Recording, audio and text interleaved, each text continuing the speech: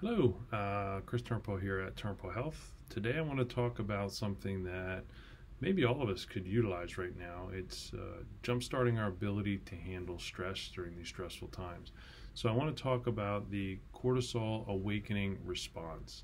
And what this is, is typically we talk about our circadian rhythm and our cortisol is highest in the morning and then it goes down at night, we go to sleep and then we wake up in the morning, it goes high again, and then it comes back down.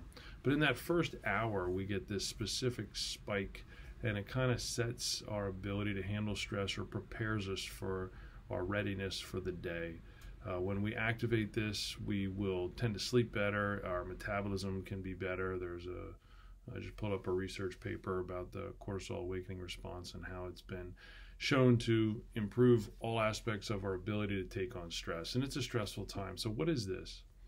Well, what it is, the one of the ways to jumpstart this uh, cortisol awakening response, we call it jumpstart the car, cortisol awakening response the car.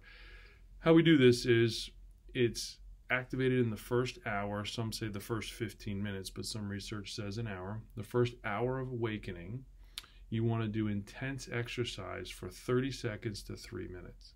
Now, what is intense exercise? Intense exercise is exercise that you could not maintain for more than three minutes or certainly five minutes. So, jumping jacks or burpees or running hard in place, something that's kind of exhausting to do for more than three minutes. Uh, what this does is starts to kind of set the ball in motion for this uh, cortisol response. It gives us resiliency for stress throughout the day, helps us sleep better, helps to maintain metabolism.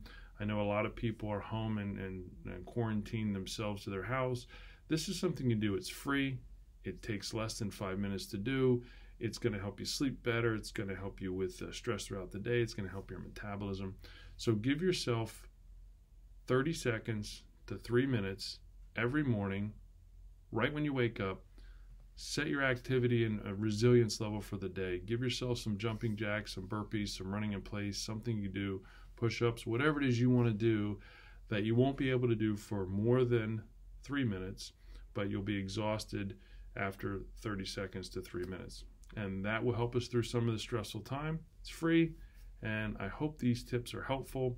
Again, I welcome any feedback from anybody, any ideas that or questions people have. I'm happy to put those out there, uh, and we'll get through all this together. Thanks so much.